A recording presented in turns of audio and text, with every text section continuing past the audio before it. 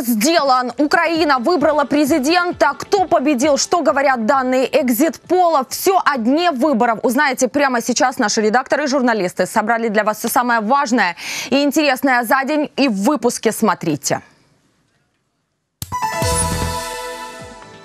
Зеленский лидер президентской гонки. Первые данные экзит-полов. С каким разрывом идут кандидаты?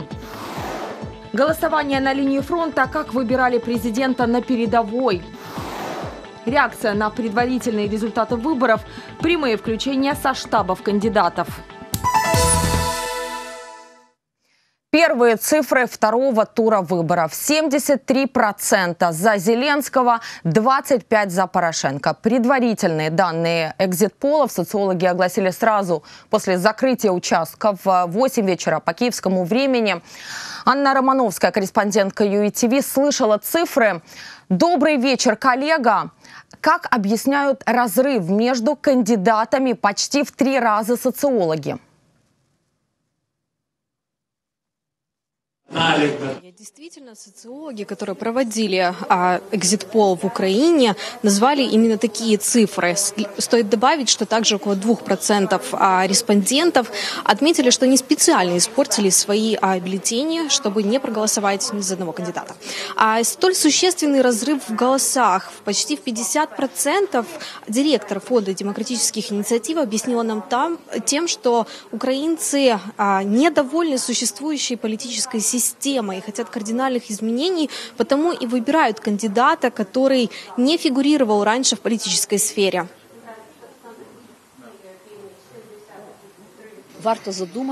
Стоит задуматься, что является собой наша политическая система. Она не удовлетворяет людей по многим параметрам. И очень важно, чтобы политические силы перед парламентскими выборами задумались и как-то изменили к тому времени свою политику. Эти цифры не окончательные. Финальные результаты национального экзит-пола станут известны уже меньше, чем через час в 10 часов вечера. Стоит отметить, что опрос избирателей проводился анонимно. Их в анкете просили указать пол, возраст, уровень образования, а также отметить кандидата, за которого они проголосовали, а, и также избирательный участок, где они голосовали. По состоянию на 6 часов вечера интервьюеры опросили 13,5 тысяч людей, и ожидается, что погрешность этого экзит-пола будет а, не более 2,5%. На этом у меня все. Дарья, тебе слово. Анна Романовская, корреспондентка ЮИТВ. По предварительным данным экзит-пола Владимир Зеленский получил 73% голосов избирателей, Петр Порошенко 25%.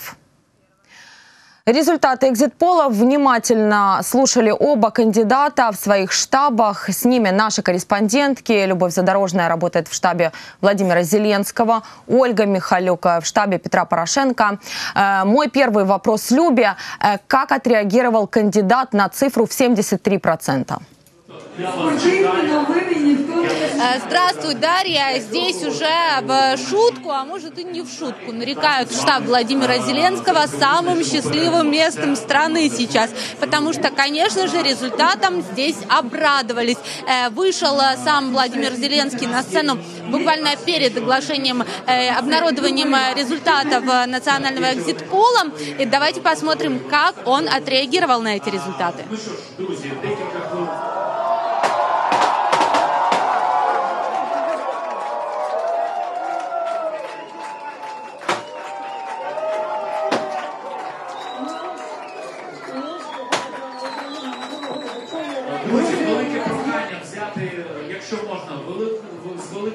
То есть э, была такая очень радостный э, был э, прием этих результатов. Заготовили, как мы видели, конфетти заранее на случай именно таких результатов, отрыва от Петра Порошенко. Потом Зеленский, Владимир Зеленский взял слово. Он поблагодарил всех, кто его поддерживал. Начал он со своей семьи, с жены, с родителей. Давайте послушаем.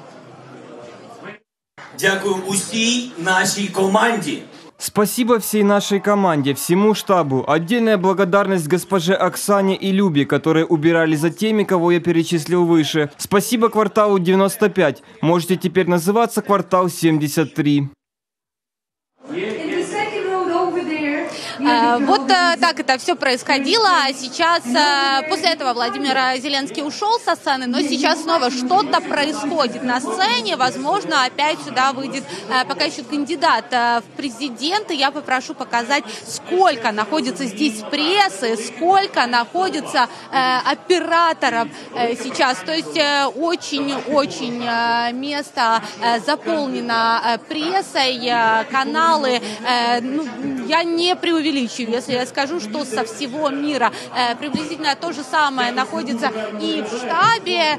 То есть вот сейчас все более или менее разошлись, видимо, будут все-таки пропускать кандидатов в президенты. Мы остаемся здесь, следим. Дарья, тебе слово позвонить э, Позвонить и поздравить оппонента намерен президент Петр Порошенко. Об этом он заявил в штабе после оглашения предварительных данных экзит-полов. Ольга Михалюк э, слышала речь пятого президента Украины. Оля, какие слова вот лично тебя впечатлили? Конечно, главные слова, которые произнес сегодня президент, это «никогда не сдавайся». Я могу сказать, что сейчас, входя, люди даже плакали, когда услышали э, данные экзит-пола. Это не окончательный результат, еще будет официальный подсчет голосов, но расклад сил уже понятен. Скорее всего, когда уже будет официально оглашено, э, будущим президентом станет таки Владимир Зеленский. Э, здесь тоже видели данные экзит-пола, за ним очень внимательно следили и журналисты, и сторонники э, действующего президента и кандидатов в президенты пока еще.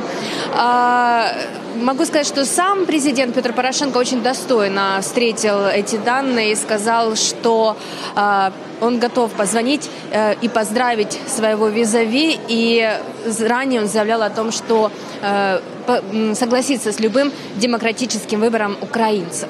Я предлагаю послушать. Ніколи, ніколи, ніколи. Никогда, никогда, никогда не сдавайся в большом и не сдавайся в малом, ни в значительном, ни в мелком. Никогда не сдавайся, слышу я и сейчас, когда вижу эти результаты экзит-полов, а они очевидны и дают основания сейчас позвонить моему оппоненту и поздравить. Да, Петр Порошенко вспомнил, как он принимал Украину в 2014-м, когда развернулась российская агрессия. Тогда желающих э, занять этот пост было не так много. За эти годы он наладил и международное сотрудничество, и стабилизировал работу банковской системы, и э, также армия э, окрепла, и это тоже заслуга политики действующего президента. Эм, могу сказать, что все это будет далее продолжаться. Петр Порошенко сказал, что он не уходит из политики и будет даже помогать Владимиру Зеленскому, когда он станет на пост, важнейший пост президента Украины. Сказал, что они будут очень сильной оппозицией, но даже готовы поделиться теми контактами и налаженными связями с международными партнерами, чтобы Украину продолжал поддерживать мир, особенно в борьбе с российской агрессией. Студия. Спасибо, коллеги. В штабах кандидатов в президенты работают съемочная группа UATV Владимир Зеленский, который, согласно предварительным данным экзит-полов, набрал 73% голосов, пообещал не подвести. Петр Порошенко с результатом 25% заявил, что из политики не уходит и продолжит бороться за Украину. Центр избирком обрабатывает данные по явке во втором туре. Евгения Бурда работает в комиссии. Э, Женя э, с нами на прямой связи. Э, видим, если она. Да, есть. Женя передают режиссеры. Жень, скажи, пожалуйста, как активно голосовали украинцы?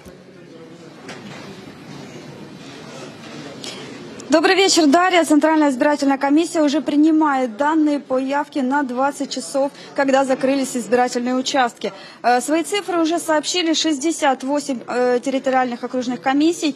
Э, первой была Донецкая область. Сейчас мы можем видеть, что цифры уже есть почти по всем областям. Я напомню, что в каждом регионе по несколько территориальных округов, всего их 199, поэтому и эти цифры еще может, могут измениться. Э, Сейчас мы можем видеть, что активнее всего голосовали во Львовской области. Свой гражданский долг там исполнили больше 67%. Нам показывает Закарпатская область. Э, Эти цифры немножко отличаются от дневных, когда средняя явка на всех 199 округах э, была чуть больше э, 45%, и самая низкая тогда тоже была в Закарпатской, но лидировали Днепропетровск. Если сравнивать с показателями первого тура, то цифры отличаются э, не, немногим, э, около процента. И в пользу сегодняшнего голосования 31 марта на участки пришли гораздо меньше людей. Э, как рассказала секретарь Центральной избирательной комиссии Наталья Бернацкая, повторное голосование 21 апреля прошло практически э, без нарушений, без системных нарушений, которые могли бы повлиять на исход выборов. Э, все было спокойно в штатном режиме, э, и Центральная избирательная комиссия не получила ни одной жалобы. Э, но не все э, при фронтовом поселке Лебединская отдать свои голоса люди смогли только с 16 часов. Э, И вот что она рассказала по поводу этого инцидента.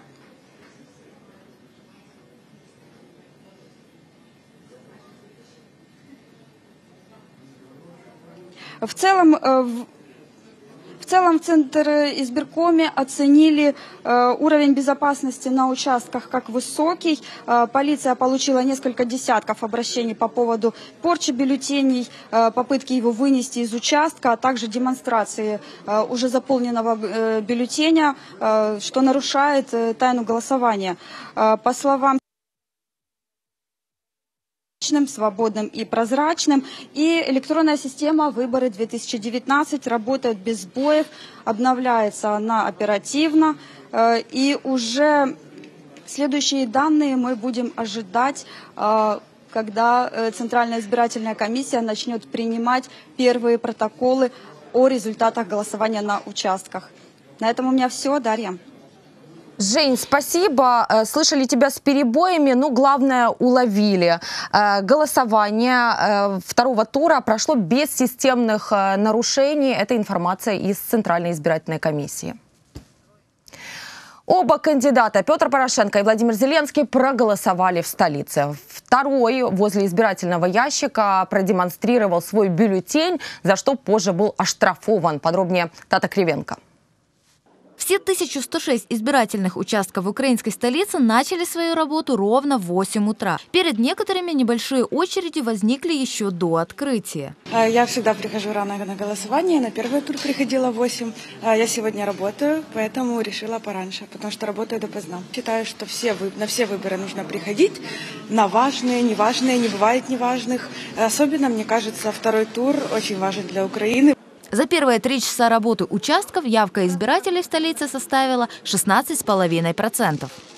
Украина идет в правильном направлении, если мы можем голосовать, и, в принципе, э, это справедливо все и демократично. Я думаю, выбор каждого человека важен для Украины в целом, и очень важно прийти и проголосовать, каким бы ни был твой выбор. В Киеве голосовало больше всего крымчан, которые решили принять участие в президентских выборах. В столичный реестр подали заявление 1645 жителей оккупированного Россией полуострова. Для нас, как для крымских татар, это очень важное дело. Это наш долг, особенно в это непростое время. Оба кандидата на президентский пост также проголосовали в столице. Первым на участок в одном из спальных районов приехал Владимир Зеленский. В сопровождении жены, охраны и большого количества журналистов он проследовал в кабинку для волеизъявления. Не обошлось без казуса. Возле избирательного ящика кандидат публично продемонстрировал свой бюллетень. А это нарушение избирательного законодательства. Полиция составила протокол об административной ответственности. Владимир Зеленский должен будет уплатить штраф чуть больше 30 долларов. Второй кандидат, действующий президент Петр Порошенко, пришел на выборы с женой, детьми и внуками. После голосования поблагодарил всех, кто пришел его поддержать, и призвал украинцев голосовать с умом, чтобы сохранить страну и ее национальный курс. Я твердо убежден, что во время этих выборов мы должны сделать все возможное, чтобы наш прогресс в европейскую и евроатлантическую интеграцию не то чтобы не был остановлен, мы этого точно не позволим, а не замедлил путь наших реформ. И очень важно, чтобы Украина защитила те достояния, которые приобрела за последние пять лет. В целом президентские выборы в Киеве проходят спокойно и демократично, отчитались в полиции. Зафиксированные нарушения незначительные. Самые распространенные – фотографирование бюллетеня. Тата Кривенко, Максим Градобик, UA TV. Обмен роликами, сдача анализов, словесный баттл, дебаты на стадионе. Это самая непредсказуемая предвыборная кампания за всю историю Украины. О сражении кандидатов за симпатии избирателей. В сюжете корреспондентов ЮИТВ. В ночь после первого тура выборов Петр Порошенко приглашает оппонента на дебаты. Ключевым элементом должны быть предвыборные дебаты. Тот, кто будет уклоняться, он будет знать, что ему нечего сказать. В ответ в штабе Зеленского заявляют, не уверены, что дебаты нужны. Украинцы запускают флешмоб в соцсетях «Хочу видеть дебаты». После этого Зеленский обнародует видеоролик, в котором соглашается на встречу, но с рядом условий. Дебаты відбудуть. Дебаты состоятся перед народом Украины. Все каналы имеют право транслировать дебаты в прямом эфире. Все журналисты имеют право присутствовать. Также Зеленский требует медицинскую экспертизу. Порошенко на условия соглашается. Приглашает оппонента сдать анализы в медпункте Олимпийского и делает это сам. Я одразу Я сразу же дал разрешение на проведение исследований. Я бы внес изменения в законодательство и сделал процедуру обязательной, потому что вопрос об отсутствии нарко- и алкогольной зависимости – это вопрос нацбезопасности. Зеленский вместо стадиона отправляется сдавать анализы в частную клинику. Сдал кровь, все, что надо было, все крови из меня выкачали. Ну, слава богу, во мне его, ее много. Кровь молодая, в общем, посмотрим. Слово берут в Центр избиркоме. Согласно законодательству, дебаты нужно провести накануне Дня тишины в 8 вечера в студии общественного вещателя. У Порошенко предлагают встретиться на Олимпийском за неделю до официальной дискуссии. Петро Порошенко. Петр Порошенко прибудет на дебаты с Владимиром Зеленским 14 апреля в 14 часов 14 минут на НСК «Олимпийский». И еще раз настойчиво повторяет свое приглашение Зеленскому не бояться дебатов, не избегать. У Зеленского отвечают, готовы к дебатам только 19 апреля и только на стадионе. Пообщаться с оппонентом без посредников Порошенко пытается во время политического ток-шоу 11 апреля. И разговор состоялся, правда, по телефону. майте терпець послухати Ніхто з мене. вас не буде ставити позицію. Майте терпець А послухати мене. зараз закінчив я 19 числа на НСК Олімпійський. Крапка. Вас- До побачення. Крапка та крапка. 14 апреля кандидат Петр Порошенко пришел на стадион, однако общался с людьми. Трибуна Владимира Зеленского осталась пустой. Відповідь, ви молодці! 19 апреля кандидаты все-таки встретились на стадионе. Посмотреть на так называемые дебаты пришли 22 тысячи зрителей. Чтобы предотвратить столкновение, фан-зону разделили кордоном полиции. Соорудили две сцены. Однако перед началом словесной схватки Петр Порошенко идет на сцену к оппоненту. Выступления, вопросы, ответы и реплики длились 40 минут. Прозвучало много взаимных претензий и обвинений. В результате каждый остался при своем.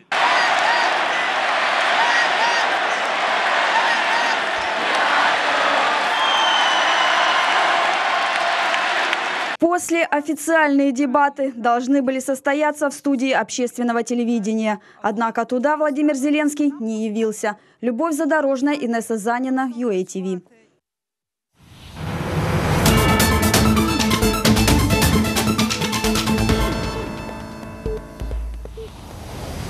Больше тысячи украинских военных выбирали президента в прифронтовой Попасной. Город Луганской области находится в трех километрах от зоны боевых действий. Там развернули специальный избирательный участок, где голосовали военнослужащие с нулевых позиций. Репортаж корреспондентов ЮТВ.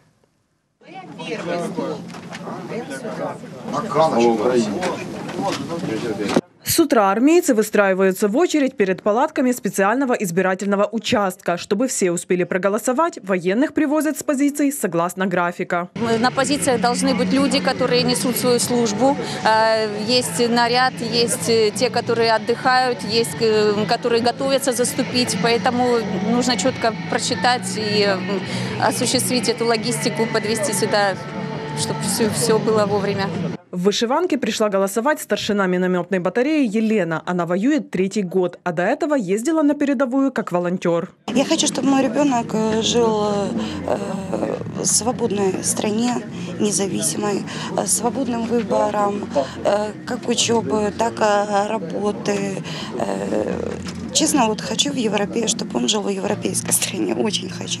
Муж Елены Александр полностью поддерживает позицию жены. Ну, Я пришел на выборы для того, чтобы... Я пришел на выборы для того, чтобы поддержать курс на украинскую Украину, а не Малороссию. Я воюю с 2014 года, с Майдана. И Украина за последнее время действительно стала на курс украинской, а не Малороссии. В Попасной проголосовало почти тысяча украинских военнослужащих. Армейцы уверены, их голос влияет не только на результаты выборов, но и на будущее страны. Я думаю, э, в ближайшее время э, война закончится э, хорошим концом для нас, конечно же. И когда мы начнем отстраивать свою страну, поднимется там инфра- инфраструктура там, и финансовое положение. Попасная находится в трех километрах от зоны боевых действий. Окраина города постоянно обстреливается боевиками. 14 і 15 рік зима. 14-15 год, зима. Тут было очень много обстрелов. Люди выезжали. В городе почти не осталось людей. Если взять по нашей школе, детей у нас до начала войны было 361, а сейчас 267. И так со всем населением. Потому что кто-то уже устроился в другом городе, подальше от войны и проблем. А кто-то вернулся, потому что дома все равно лучше. Голосовать на участке в Попасной идут семьями. Избиратели мечтают об одном. Хочется спокойствия детям. Хочется, чтобы не страшно их было отпускать на улицу гулять. Всего в Попаснянском районе зарегистрировано более 45 тысяч избирателей, из них 413 – переселенцы. Анастасия Волкова, Александр Лахтин, Луганская область, UATV. В вышиванках на выборы приехали крымчане. Несмотря на сложности при пересечении админграницы с аннексированным Крымом, люди ехали в Херсонскую область голосовать. С ними пообщалась Ольга Волынец. Самый большой избирательный участок в поселке Каланчак Херсонской области в Доме культуры. Больше двух с половиной тысяч избирателей.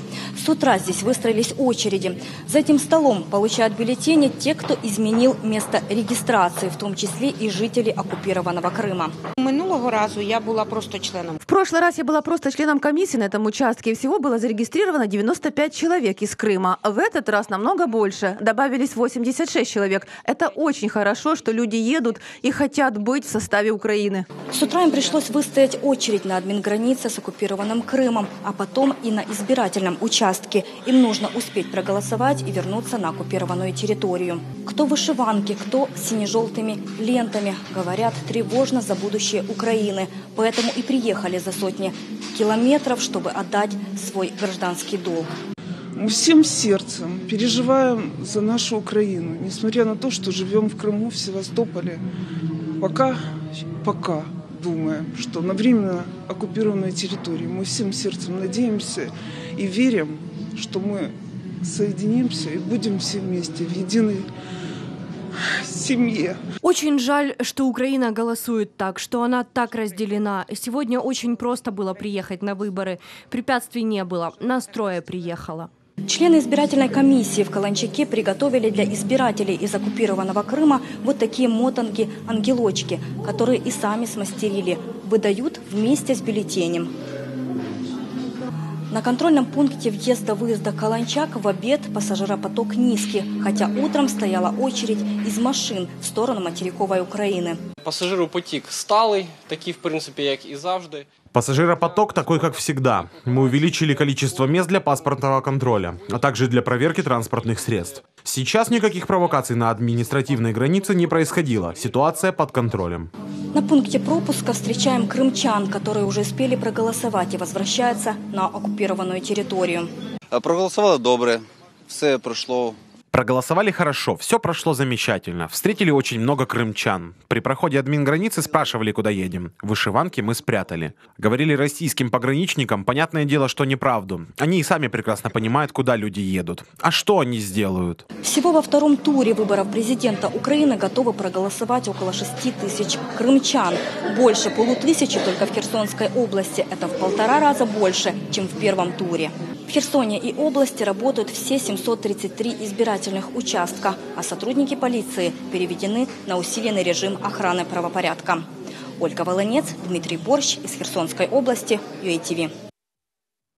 Совершеннолетие и первое голосование в один день. Первокурсница Дарья Синеук сегодня отпраздновала день рождения и смогла проголосовать на выборах. Готовилась к этому дню с особой ответственностью. Выборы президента страны проводятся не каждый день. А с какими надеждами и настроением голосует молодежь, расскажет Артем Голуб. Дарья Синьок – медалистка, первокурсница одного из киевских вузов. Через несколько лет станет дипломированным математиком. В будущем Даша мечтает работать логистом, управлять материальными, информационными и людскими потоками. Аккурат 21 апреля девушке исполняется 18 лет. И рада, и очень волнуюсь. Потому что я э, всегда хотела проголосовать в выборах. Это так совпало, что на мой день рождения как раз будут выборы. Мне кажется, это прямо судьба.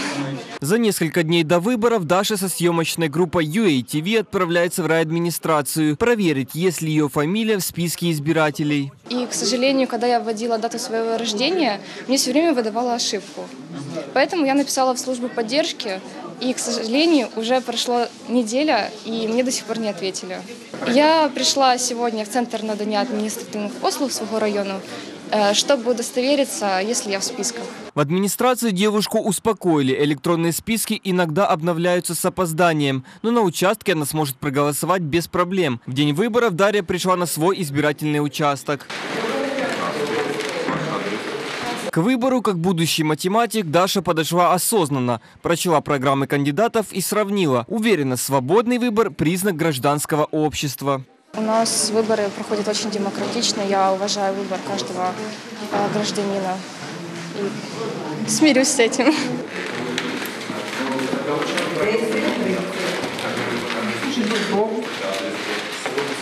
Отдать свой голос на президентских выборах – это долг каждого украинца, считает девушка.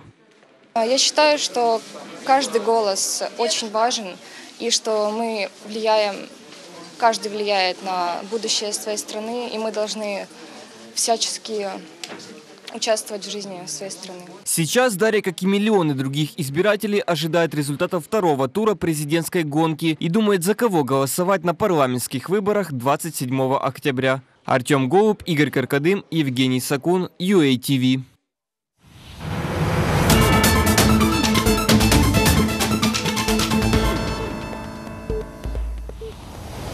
В эти минуты закрывается большинство участков в Западной Европе. Голосуют еще только в Португалии. Процесс продолжается и на американском континенте. Международная редакция UETV собрала самые интересные моменты голосования украинцев на заграничном округе. Украинцы избирают президента в 72 странах. Более 410 тысяч бюллетеней Центральная избирательная комиссия разослала на 101 заграничный участок. Первыми свой выбор делали украинцы в столице Австралии Канберре. Там голосование стартовало 20 апреля в 23 часа по киевскому времени. В час ночи открылся участок в Шанхае. Сегодня я пришла проголосовать за... Я пришла проголосовать за будущего президента Украины, потому что мне не безразлично будущее этой страны. На участке все круто, хорошая атмосфера. Больше всего участков в Германии – 5. В посольстве говорят, во втором туре избиратели голосовали активнее. В Берлине, по предварительным данным, явка увеличилась в половину. В соцсетях украинцы призывали прийти и проголосовать 21 апреля. Жители отдаленных городов списывались заранее, искали попутчиков и договаривались ехать вместе. Дуже раді, що ми виїхали, он дівчина приїхала. Мы рады, что приехали. Вон девушка за 100 километров ехала. И мы встретились, проголосовали. Настроение отличное. Ждем изменений к лучшему. Также активно агитировали не игнорировать выборы в Дании. Местное посольство и избирательная комиссия провели масштабную информационную кампанию в соцсетях, чтобы собрать как можно больше людей. Очень много туристов приехали на эти праздники в Данию, взяли открепительные талоны, поэтому у нас большой поток избирателей сегодня, чему мы очень рады. Звичайно, святкова атмосфера зараз у посольстві. Очень праздничная атмосфера в посольстве. Правда, люди очень серьезно относятся к своему гражданскому долгу. И еще приятно удивила работа посольства и комиссии, которые очень активно информировали граждан о том, как проверить себя в списке избирателей, как встать на учет в посольство и попасть в этот список, проголосовать за своего кандидата. В странах с наибольшими украинскими диаспорами Италии, Польши и Соединенных Штатах Америки работали по 4 избирательных участка. В одном только Нью-Йорке зарегистрировались 12 тысяч избирателей. Голосовать ехали за сотни километров. Я отстоял в очереди огромной в Киеве, получил открепительный талон. Я понимаю, что я чуть ли не там единственный, кто с открепительным талоном сюда приехал э, со своим партнером. И мы вот сегодня отдали голос. Кожен із нас має віддати свій голос. Каждый из нас должен проголосовать, потому что мы любим Украину. Мы заботимся о ней, делаем все, чтобы в Украине был мир, благополучие и чтобы она расцвела еще лучше. Рекордная стопроцентная явка традиционно на украинской антарктической станции «Академик Вернадский». Там проголосовали все 12 членов экспедиции. Урну соорудили из подручных средств, роль кабинки играл перевернутый шкаф. Украинцы, живущие в России, могли голосовать в Грузии, Казахстане и Финляндии. Самый крупный по количеству избирателей участок работал в Молдове. Меньше всего граждан Украины, 42 человека, голосовали в Сербии. В первом туре президентских выборов на зарубежных избирательных участках проголосовали около 55 тысяч человек. Рекорд активности избирателей за рубежом зафиксировали на президентских выборах в 2004 -м. Тогда свои голоса отдали больше 100 тысяч украинцев. По статистике, в среднем на выборах голосует десятая часть заграничных избирателей. Александр Кулебаба, Вадим Гринько, Евгения Бурда, UATV. В Соединенных Штатах работают участки в Вашингтоне, Нью-Йорке, Чикаго, Сан-Франциско. Там сейчас день. Об особенностях голосования за океаном специально для UTV рассказал корреспондент «Голоса Америки» Михаил Комадовский. Сегодня апогей долгих и, пожалуй, одних из самых ярких выборов президента Украины за всю историю независимости страны. За океаном, за результатами на протяжении последних двух недель следят и эксперты, и официальные лица. Американские медиа обратили внимание на двух кандидатов гонки. Чего уж стоят дебаты на НСК «Олимпийский». Европейские международные телеканалы, немецкие, французские, турецкие, например, несколько дней назад начинали выпуски новостей сообщениями об Украине. Лично я давно такого не видел. Собственно, государство смогло обратить на себя внимание. Однако толпы на избирательном участке в Вашингтоне мы не видим. Во время первого тура из 7 тысяч зарегистрированных избирателей в американской столице проголосовали лишь чуть более 400. Нью-Йорк, Чикаго и Сан-Франциско похвастаться большими цифрами не могут. Одни называют это нормой, другие негодуют, мол, можно быть и поактивнее, но не следует забывать, что расстояния в США очень велики, и некоторым избирателям, чтобы проголосовать, приходилось преодолеть несколько тысяч километров. К тому же это удовольствие не из дешевых. Собственно, и избирателей в Америке не так уж и много сравнительно с Украиной, и они вряд ли смогут повлиять на общую картину результатов. Но идти на выборы нужно, говорят местные украинцы, чтобы их голосом не воспользовался кто-то другой, например. Да и люди продолжают чувствовать некую связь со своей родиной. Кстати, Вопрос, имеют ли право голосовать те, кто переехал за границу, но сохранил украинский паспорт и не планирует возвращаться, как мне видится, в последнее время стал довольно острым, по крайней мере, в социальных сетях.